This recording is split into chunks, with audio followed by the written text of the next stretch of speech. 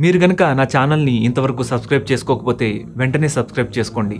Bell ఐకాన్ని press చేసి అందులోని ఆల్ ఆప్షన్ ఎంచుకోండి. నా ఫ్యూచర్ వీడియో నోటిఫికేషన్స్ మీరు అందుకుంటారు. మీరు గనక నా ఛానల్ని సపోర్ట్ చేయాలనుకుంటే కింద డిస్క్రిప్షన్లో లింక్స్ ఇచ్చాను. వాటిని ఉపయోగించి మీ సపోర్ట్ని తెలియజేయండి. మిత్రులారా ఎలా ఉన్నారు? మన ఈనాటి ఎపిసోడ్ అయిన శ్రీరంగం శ్రీ రంగనాథ స్వామి వారి మిస్టరీ తెలుసుకోవాలంటే మనం కాలంలో కొంచెం వెనక్కి వెళ్ళాలి. బ్రహ్మదేవుడు సృష్టి చేసిన కాలానికి చేరుకోవాలి. క్షీరసాగర మదనం జరుగుతున్న సమయం. బ్రహ్మదేవుడు ఆ పరంధాముడు పరమాత్ముడు అయిన శ్రీ మహావిష్ణువు కోసం తపస్సు చేశాడు.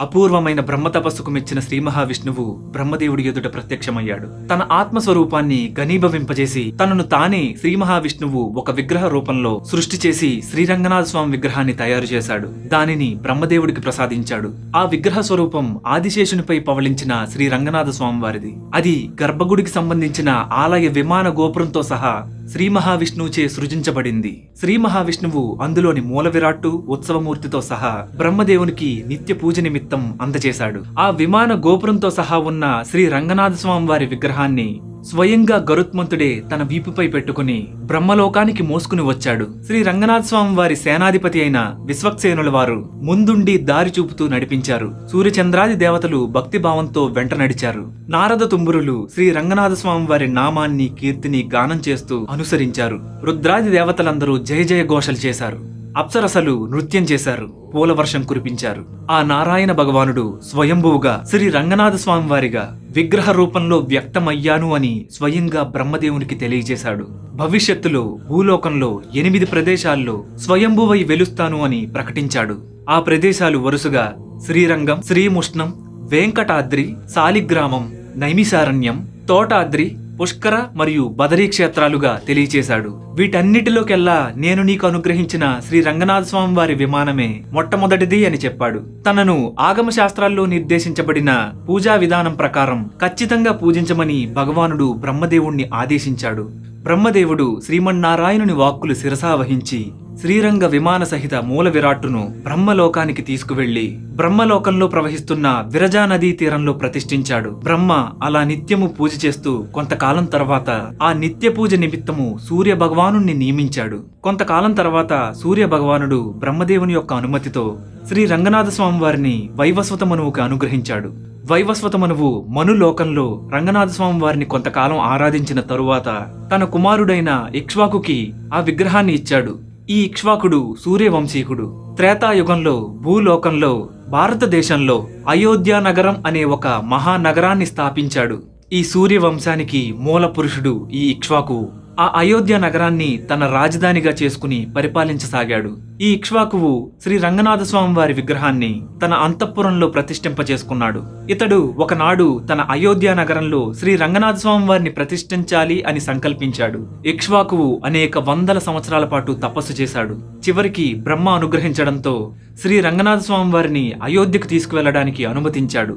అటు తర్వాత అయోధ్య నగరపు రాజులందరూ శ్రీ రంగనాథ స్వామి వారి విగ్రహాన్ని తమ కుల దేవతగా పూజించేవారు. మీకు రిఫరెన్స్ కోసం ఒక విషయం చెప్తాను. చాలా జాగ్రత్తగా వినండి. ఈ విషయంతో లింక్ అవుతున్న మరొక విషయం నా గత ఎపిసోడ్ అయిన కట్పాంగుడి మిస్టరీలో తెలియజేశాను. కట్పాంగుడు అనే అయోధ్య నగరపు మహారాజు తనకు ఇంకా కేవలం ఇరవై నాలుగు నిమిషాలు మాత్రమే ఆయుష్ మిగిలి ఉంది అని ఇంద్రుడి ద్వారా తెలుసుకున్న తర్వాత అతి వేగంగా అయోధ్య నగరానికి చేరుకుని తన అంతఃపురంలో ఉన్న శ్రీ మహావిష్ణువుని స్మరిస్తూ మోక్షాన్ని పొందాడు అని చెప్పుకున్నాం కదా. తను పూజించి ఆరాధించి స్మరించిన ఆ విగ్రహం మరేదో కాదు. శ్రీ రంగనాథ స్వామి వారి విగ్రహం. అయోధ్య నగరపు రాజులు రాముని పూర్వీకులందరూ శ్రీరంగనాథ స్వామి వారిని తరతరాలుగా పూజిస్తూ వచ్చారు. అంటే శ్రీరాముడి పూర్వీకులందరూ శ్రీ రంగనాథ స్వామి వారిని తరతరాలుగా పూజించుకుంటూ వచ్చారు. మనకు ఈ విషయం వాల్మీకి మహర్షి రచించిన శ్రీమద్ రామాయణంలో స్పష్టమవుతుంది. ఇన్ని తరాలుగా శ్రీమన్నారాయణుణ్ణి ఆరాధించారు కాబట్టే శ్రీమన్నారాయణుడు ఆ ఇక్ష్వాకు వంశంలో శ్రీరామచంద్రమూర్తిగా అవతరించాడు. ఒక మహాత్ముడు పుణ్యపురుషుడు దైవాంశ సంభూతుడు మన వంశంలో పుట్టాలంటే ఆ వంశానికి ఎన్నో తరాల పుణ్యఫలం ఉండి ఉండాలి. దానికి ఆధారం ఏంటనుకుంటున్నారా అందుకు ఇవిగోండి ఆధారాలు శ్రీమద్ రామాయణం అయోధ్యాకాండ ఇరవయో సర్గ పద్నాలుగవ శ్లోకం మరియు పంతొమ్మిదవ శ్లోకం. కౌసల్యాపి తదాదేవి రాత్రిం స్థిత్వా సమాహిత. ప్రభాతే త్వకరోత్ పూజాం విష్ణోః పుత్ర హితైషిణి. కౌసల్యాదేవి నియమ నిష్టలతో ఆ రాత్రిని గడిపెను. ప్రభాత సమయమున తన పుత్రుని హితము కోరుతూ శ్రీ మహావిష్ణువును ఆరాధించెను. ఇంకా పంతొమ్మిదవ శ్లోకంలో తాం శుక్ల క్షౌమ సంవీతాం వ్రతయోగేన కర్షితాం తర్పయతీం దదర్శాద్భిః దేవతాం దేవవర్ణినీం అంటే వ్రత నియమములను పాటించుచుండుటచే కౌసల్యాదేవి కృషించి ఉండెను. ఆమె తెల్లని పట్టు వస్త్రములను దాల్చి దేవతవలే శోభిల్లుచు తమ ఆరాధ్య దైవమైన విష్ణువును జలాభిషేకములతో తృప్తిపరచుచు సేవించుచుండెను. అట్టి కౌసల్యమాతను శ్రీరాముడైన రాఘవుడు దర్శించెను. ఇక్కడ మనకు చాలా క్లియర్గా అర్థమవుతుంది. ఇక్ష్వాకు కుల వంశ రాజులు తమ వంశ పారంపర్యంగా పూజిస్తున్న కులదేవత శ్రీ మహావిష్ణువని ఆగిన ఎవరో కాదు. శ్రీ రంగనాథ స్వామివారే అని. చాలా మంది ఇక్ష్వాకు వంశరాజులు సూర్యవంశీయులు కాబట్టి వారి పూజా మందిరాల్లో సూర్యుడు ప్రధాన దేవతగా ఉంటారు అని భ్రమపడుతుంటారు. ఇన్ఫ్యాక్ట్ చాలా సినిమాల్లో సీరియల్స్లో ఇలాగే చూపిస్తుంటారు. బట్ డీప్గా రీసెర్చ్ చేస్తే తప్ప ఈ విషయం అందరికీ తెలియదు. ఇక్ష్వాకు వంశస్థుల ప్రధాన కులదేవత శ్రీ రంగనాథ స్వామి వారు. శ్రీరామచంద్రుల వారు లంకానగరం వెళ్ళి రావణునితో యుద్ధం చేసి అతన్ని సంహరించిన తర్వాత రావణుడి సోదరుడైన విభీషణుడికి లంకారాజ్యాన్ని అప్పగించి రాజును చేశాడు. దీనికి ఆధారమైన రెఫరెన్స్ పద్మపురాణం సృష్టిఖండం. శ్రీరాముని దర్శనానికై విభీషణుడు ఒకనాడు అయోధ్య నగరానికి వచ్చాడు. తన మిత్రుడైన విభీషణుడు అయోధ్యకు రావడంతో శ్రీరామచంద్రుల వారు పరమానందభరితుడయ్యాడు. ఆ విభీషణుడికి గొప్ప ఆతిథ్యం ఇచ్చి సత్కరించి తమ ఇక్ష్వాకు వంశీయులు తరతరాలుగా పూజిస్తున్న శ్రీ రంగనాథస్వామి వారి మూల విరాట్టును విమానంతో సహా విభీషణుడికి బహుమతిగా ఇచ్చాడు. విభీషణుడు దాన్ని స్వయంగా శిరసుపై మోస్తూ భక్తి పారవస్యంతో శ్రీరాముని వద్ద సెలవు తీసుకుని ఆకాశ మార్గాన తన లంకా నగరానికి బయలుదేరి వెళ్ళాడు. లంకకు ప్రయాణిస్తున్నప్పుడు క్రమంగా శ్రీరంగనాథ స్వామి వారి విమానం బరువెక్కసాగింది. క్రమంగా విభీషణుడు మోయలేనంత విపరీతమైన భారమైంది. విభీషణుడు ఆ విగ్రహాన్ని ఒక ద్వీపంలో నేలపై మోపాడు. అతడు దిగిన ప్రదేశము మరేదో కాదు. ఈనాటి తమిళనాడులోని కావేరీ నదీ తీరం చంద్ర పుష్కరిణి సమీపంలోని శేషపీఠం అనే ప్రదేశం అది. నిజానికి అదే ఈ కాలం నాటి శ్రీరంగం. ఈ శేషపీఠం అనే ప్రదేశాన్ని ద్వీపం అని ప్రస్తావించారు. ద్వీపం అంటే నాలుగు వైపులా నీళ్ళు కల భూభాగం అని అర్థం. ఈ ప్రదేశానికి చుట్టూ నాలుగు వైపులా కావేరీ నది ఈ విధంగా ప్రవహిస్తూ ఉండడంతో దీన్ని ద్వీపం అని అన్నారు. ఆ విభీషణుడు కావేరీ నదిలో స్నానం ఆచరించి తిరిగి వచ్చి శ్రీరంగనాథ స్వామి వారిని పూజ చేశాడు. తర్వాత ఆ విమానాన్ని ఎత్తడానికి ప్రయత్నించాడు. కాని దైవ ఘటన వల్ల అది కదలలేదు. విభీషణుడు దుఃఖంతో కన్నీళ్ళు పెట్టుకున్నాడు. అప్పుడు అకస్మాత్తుగా శ్రీమన్నారాయణుడు ప్రత్యక్షమై ఆ ప్రదేశాన్ని తన నివాసంగా చేసుకోవాలని ముందే నిర్ణయించబడింది. కావున దుఃఖించవలసిన అవసరం లేదు అని ఓదార్చాడు. విభీషణుడు నిరాశతో లంకకు ఒట్టి చేతులతో వెనుదిరిగాడు. అలా వెనుదిరిగిన విభీషణుడు ప్రతిరోజు అర్ధరాత్రి సమయం దాటిన తరువాత శ్రీరంగం ఆలయంలోని మూల విరాట్టును అర్చించడానికి అదృశ్య రూపంలో ఇప్పటికీ వస్తూ ఉంటాడని. మరికొంతమంది సంవత్సరానికి ఒకసారి ఈ ఆలయాన్ని దర్శించుకోవడానికి అదృశ్య రూపంలో వస్తుంటాడని విశ్వసిస్తుంటారు. విధి వైచిత్ర్యం ఏంటంటే త్రేతాయుగంలో ఒకసారి ఆ ప్రాంతాన్ని పరిపాలిస్తున్న ధర్మవర్మ అనే రాజు ఒకసారి అయోధ్యకు వెళ్ళినప్పుడు దశరథ మహారాజు గారి అంతఃపుర మందిరంలో పూజాగృహంలో ఉన్న ఈ శ్రీరంగనాథుణ్ణి దర్శనం చేసుకున్నాడు. ఆనాటి నుండి తాను ఆ దేవతను తన రాజ్యంలో పూజించవలననే కోరికతో స్వామివారిని నిరంతరం ప్రార్థన చేయసాగాడు. రంగనాథ భగవానుడు ఆ ధర్మవర్మ కలలో కనపడి తన ప్రార్థనలకు మెచ్చి తన రాజ్యంలోని ఈ శేషపీఠం ప్రదేశంలో ఉంటాను అని వాగ్దానం చేసి రాజుని ఆశీర్వదించాడు. ఈ ధర్మవర్మ చోళ వంశపు రాజు. తరువాత కొన్ని రోజులకి ఈ ధర్మవర్మ కావేరీ నదీ తీరంలో ఉన్న శ్రీ రంగనాథస్వామి వారిని కనుగొని ఇతను మరియు ఇతని వంశీయులు ఆ రంగనాథుని విమానం చుట్టూ పటిష్టమైన ఒక పెద్ద ఆలయాన్ని నిర్మించారు. కానీ కాలగమనం ప్రపంచంలో అనూహ్య మార్పులు తీసుకువస్తుంటుంది. ఆ ధర్మవర్మ వంశంలో అనేక రాజుల తర్వాత కొంతకాలానికి ఆ ప్రాంతంలో వచ్చిన కావేరీ వరదల్లో ఆ ఆలయం పూర్తిగా ఇసుక క్రింద కప్పబడిపోయింది. అనంతరం కొన్ని వందల వేల సంవత్సరాల తర్వాత ఆ ప్రాంతాన్ని వేట నిమిత్తం సందర్శించిన కిల్లి వలువన్ అనే చోళ మహారాజు అక్కడే ఒక చెట్టు క్రింద సేద తీరుతుండగా రెండు దివ్య చిలుకల సంభాషణ అకస్మాత్తుగా వినిపించసాగింది. ఆ జంట చిలుకల్లోని ఒక చిలుక ఈ విధంగా చెప్పసాగింది.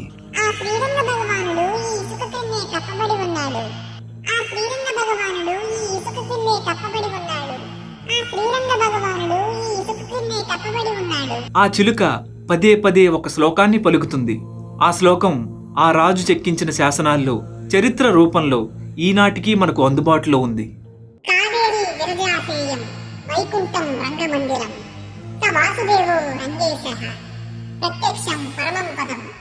విమానం ప్రణవాకారం. వేదశృంగం మహాద్భుతం. శ్రీరంగ సాయి భగవాన్ దీని అర్థం ఈ కావేరీ నదియే శాశ్వతమైన విరజా నది ఈ శ్రీరంగ ఆలయం నిజంగా వైకుంఠం. వాసుదేవుడు తన రంగముతో తన అనుచరులతో దేవతలతో కొలువై ఉన్న ఈ శ్రీరంగం ప్రత్యక్ష పరమపదం. ఈ ఆలయ విమానము ఓంకారాకారంలో ఉంటుంది. దానికున్న నాలుగు శృంగములు నాలుగు వేదాలు అవి మహాద్భుతములు. ఇచ్చట పవళించి ఉన్న భగవానుడు శ్రీరంగనాథుడు ఓంకార రూపంలో ప్రకాశించుచున్నాడు అని ఈ శ్లోకానికి అర్థం. ఈ అద్భుతమైన దివ్య చిలుకల సంభాషణను విన్న కిల్లి వలవన్ మహారాజు ఆశ్చర్యపోయాడు. అటు తర్వాత తన రాజ్యానికి చేరుకుని సుఖంగా నిద్రపోయాడు. ఆశ్చర్యకరంగా ఆ శ్రీరంగనాథ భగవానుడు కిల్లివలవన్ మహారాజు స్వప్నంలో దర్శనమిచ్చాడు. ఆ రాజు కలలో శ్రీరంగనాథుడు తాను ఎక్కడ కప్పబడి ఉన్నాడో ఆ ప్రాంతం ఎక్కడ ఉందో వివరించి చెప్పాడు. ఉలిక్కిపడి నిద్రలేచిన కిల్లివలవన్ మహారాజు తన సైన్యాన్ని పలగాలను దాసులను ఆజ్ఞాపించి మరుసటి రోజే ఆ ప్రదేశానికి హుటాహుటిన చేరుకున్నాడు. కలలో స్వామివారు చెప్పిన ప్రాంతానికి చేరుకుని అక్కడ తవ్వించాడు. ఆశ్చర్యకరంగా అక్కడ శ్రీరంగనాథ స్వామి వారి ఆలయ విమానం బయటపడింది. ఆ రాజు వెంటనే అక్కడికక్కడే ఆలయ నిర్మాణాన్ని ప్రారంభించాడు. కిల్లి వలువన్ చోళ మహారాజు ఆలయాన్ని పునరుద్ధరించాడు. తరువాతి కాలంలో కులశేఖర రాజుతో సహా అనేక మంది చోళ రాజులు ఆ శ్రీరంగనాథ స్వామివారి ఆలయాన్ని విస్తరించారు. మరియు పునరుద్ధరించారు. ఈ శ్రీరంగ క్షేత్రంలో వెలసిన శ్రీరంగనాథుని ఆలయ అభివృద్ధికి యమునాచార్యులు శ్రీ రామానుజాచార్యులు సుదర్శనాచార్యులు వంటి ఎందరో ప్రముఖులు ఎంతో ముఖ్య పాత్ర వహించారు. ఈ క్షేత్రం నూట ఎనిమిది దివ్య దేశాల్లో మొదటిదిగా చెబుతారు. ఎందరో ఆళ్వారులు ఈ స్వామివారిని కీర్తించారు. కొంతకాలానికి కలియుగం ఆరంభమైంది. కలియుగంలో భారతదేశానికి అంధకార యుగం మొదలైంది. ఎటు చూసినా ఇస్లామీ దాడులు ఆక్రమణలు అన్యాయంగా చెలరేగిపోతూ భారతదేశానికి ఒక కాలమేఘం పట్టసాగింది. అది ఆరవ శతాబ్దం.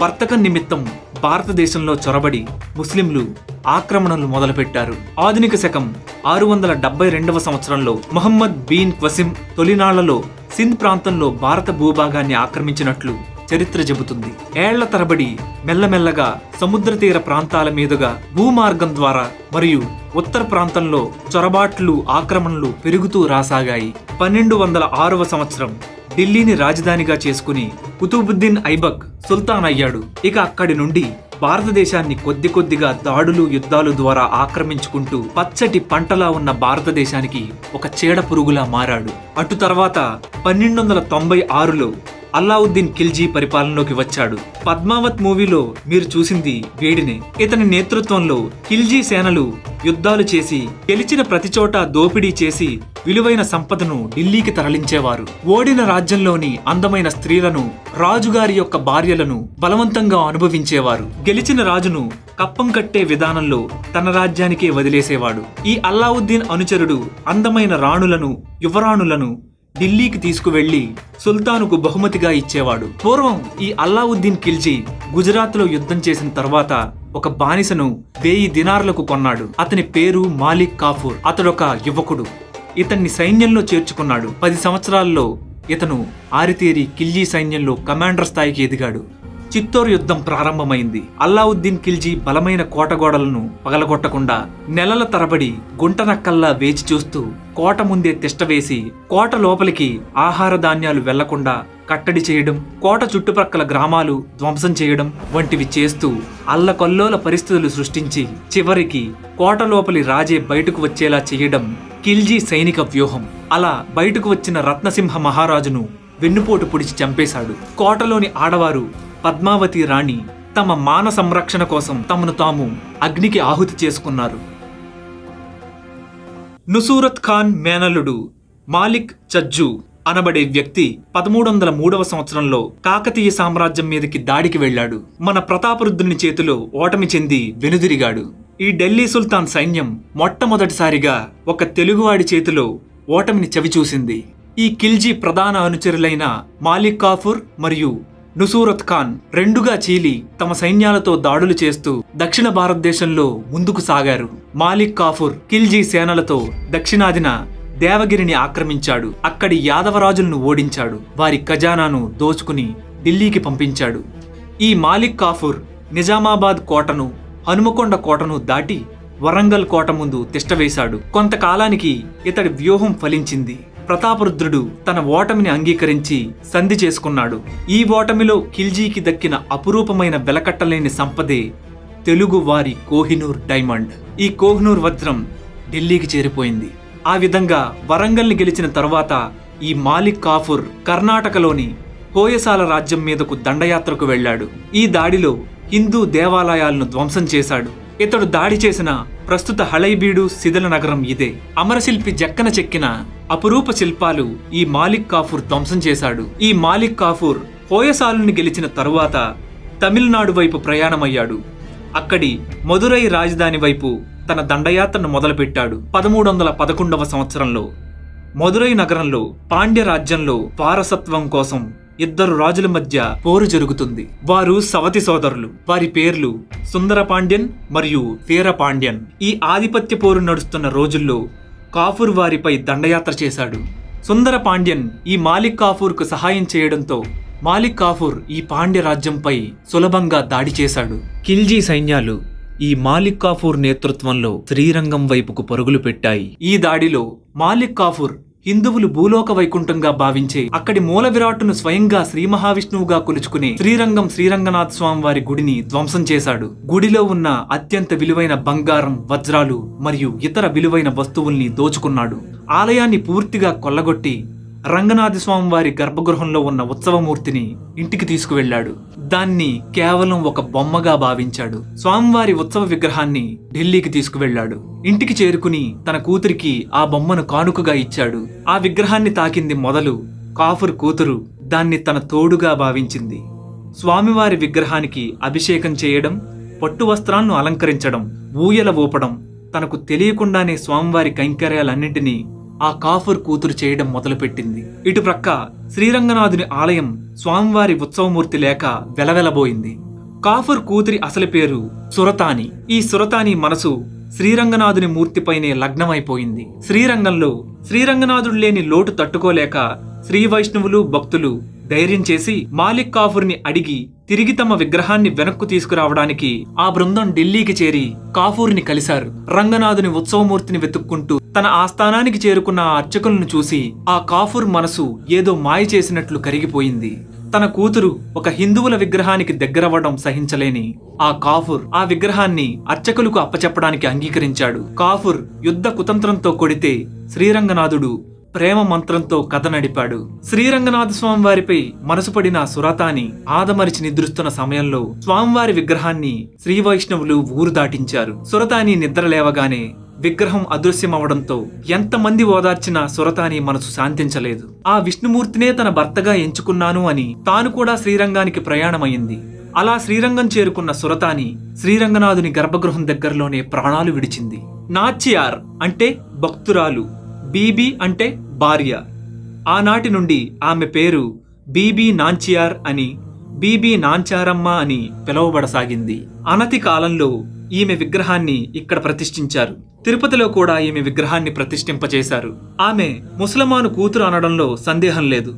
ఎందుకంటే తమిళంలో ఈమెను తుళుక్కు నాచియార్గా కూడా పిలుస్తుంటారు. దానర్థం తురుష్క భక్తురాలు అని. ఆ తరువాతి కాలంలో ఒకసారి కర్ణాటకను పాలించే హైదర్ అలీ అనే రాజు ఒకసారి తిరుమల మీదకు దండయాత్రకు వచ్చాడు. ఆ ఆలయం ఒక ముస్లిం ఆడపడుచుకు సైతం స్థానం కల్పించింది అన్న విషయాన్ని తెలుసుకుని ఆ రాజు వెనుదిరిగాడు.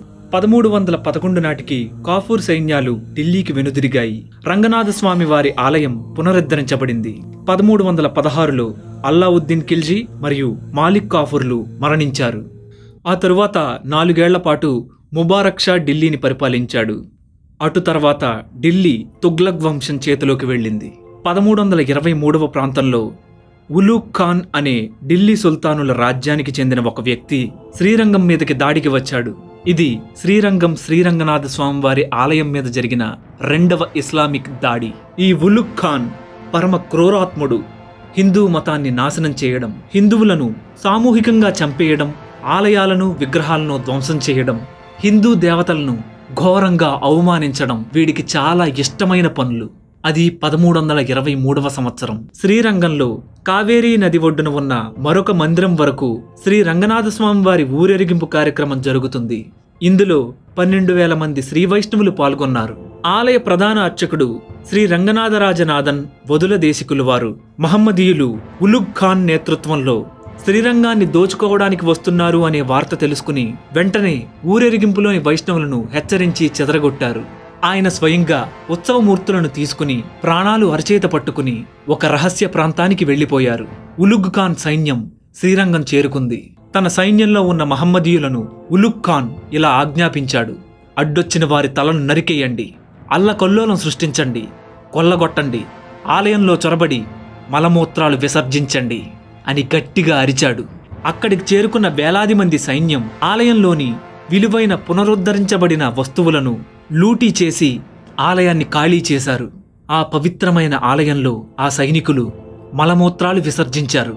గర్భగృహంలో శ్రీ రంగనాథస్వామి వారి వద్ద మూత్రం పోశారు. ఆలయంలోని ఉత్సవమూర్తులు చేయి జారిపోయాయని తెలుసుకున్న ఉలుక్ ఖాన్ ఆలయ ప్రాంతంలో ఉన్న పన్నెండు వేల మంది శ్రీ వైష్ణవుల్ని బలవంతంగా లాక్కుని ఈడ్పించుకుంటూ అక్కడికి తీసుకుని వచ్చాడు. తన దళాల చేత అందరి తలలను నరికించేశాడు. పన్నెండు వేల మంది వైష్ణవుల ప్రాణాలు తీసి ఆ రక్తంతో శ్రీరంగం అంతా నిండిపోయేలా చేశాడు ఆ ఉలుక్ ఖాన్. అంతేకాదు ఆ రక్తాన్ని ఆలయ గర్భగృహంలో ఆలయంలో చల్లించాడు. ఎన్నో గోవులను తీసుకువచ్చి నరికి గోవుల రక్తంతో ఆలయం తడిచేలా చేశాడు. ఈ వికృతమైన మలమూత్ర విసర్జనలతో ముసిరిన ఈగలతో దోమలతో నరకప్రాయమైపోయింది ఆ శ్రీరంగం. తన పైశాచిక ఆనందాన్ని అడ్డు ఆపు లేకుండా ప్రకటించాడు ఆ ఉలుక్ ఖాన్. శ్రీరంగనాథ స్వామివారి ఉత్సవ విగ్రహాలను శ్రీవైష్ణవులు కొన్నాళ్ళు తిరుపతిలో ఉంచారు.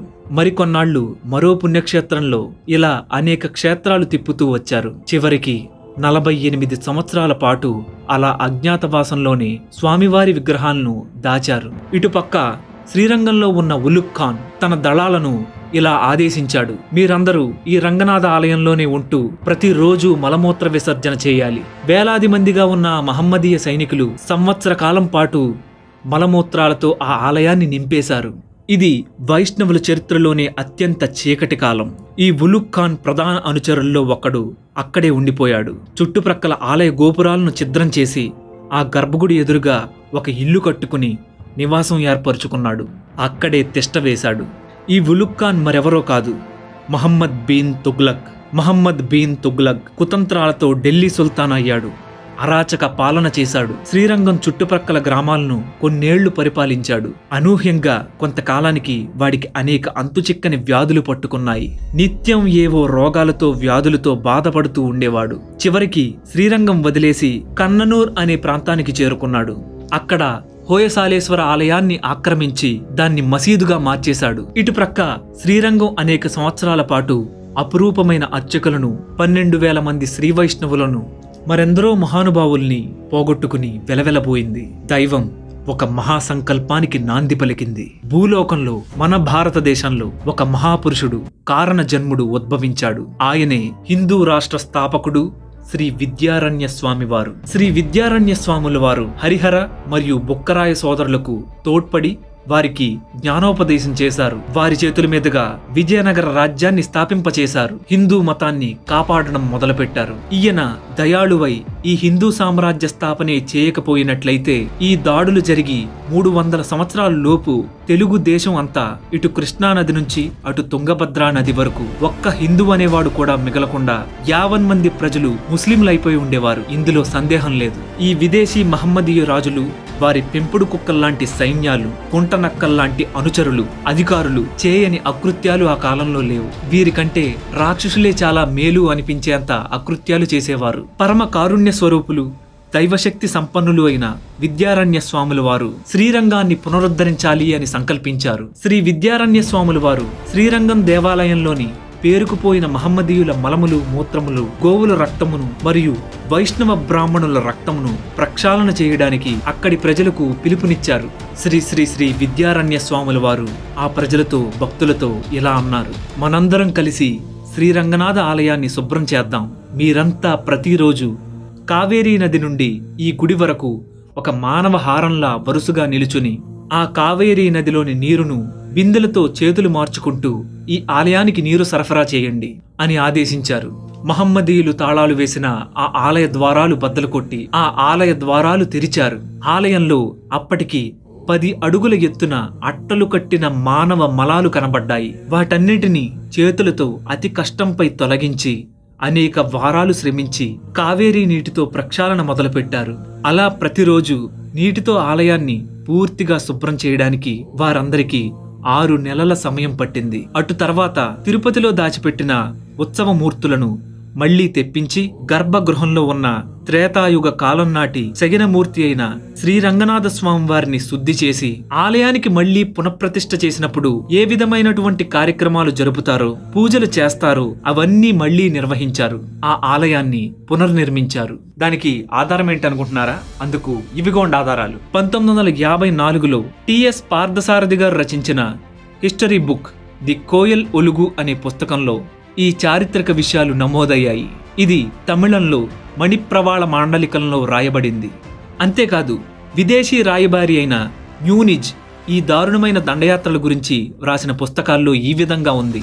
ఇది కాక ముస్లిం చరిత్రకారుడైన ఇబ్నా బతూతా గనుక ఈ దారుణమైన విషయాలు వర్ణించి ఉండకపోతే ఈ చారిత్రక సంఘటనలు నిజమని కూడా ఎవరూ నమ్మి ఉండేవారు కాదు. మన పిల్లలకు మన స్కూల్లో బోధించే చరిత్ర పూర్తిగా వక్రీకరించబడింది. భారతీయ విద్యారంగంలో చేరి పిల్లల పుస్తకాలు తప్పుగా వ్రాసి తప్పుడు చరిత్రను భావితరాలకు చెప్పి మన అసలు చరిత్ర కప్పి ఉంచే మార్కిస్టు చరిత్రకారులు ఈ పనులు చేస్తున్నారు. ఈనాటి మన హిందూ జాతికి అబద్ధాలు బోధిస్తూ స్కూల్ హిస్టరీ టెక్స్ట్ బుక్స్ రూపొందించబడ్డాయి. మత సహనం అనే ఊహాజనిత కథలను అనేక దశాబ్దాలుగా బోధిస్తున్నారు. చరిత్రలో ఉన్న ఈ గాయాలను నయం చేయడానికి ఈ చీకటి అధ్యాయాలను ఎవ్వరికీ అందకుండా సమాధి చేస్తున్నారు. మీ స్కూల్ పుస్తకాల్లో లభించని ఈ చీకటి గాయాల చరిత్రలను మనమే వెతకాలి వెతికి తెలుసుకోవాలి తెలుసుకుని జాగ్రత్త పడాలి. మిత్రమా ఉన్మాద మతాలు శాంతి పేరు చెప్పుకుని మతమార్పిడులు చేస్తున్నాయి. ఏకేశ్వర వాదంతో తికమక పెట్టి చాప కింద నీరులా భారతదేశంలో ప్రవహిస్తున్నాయి.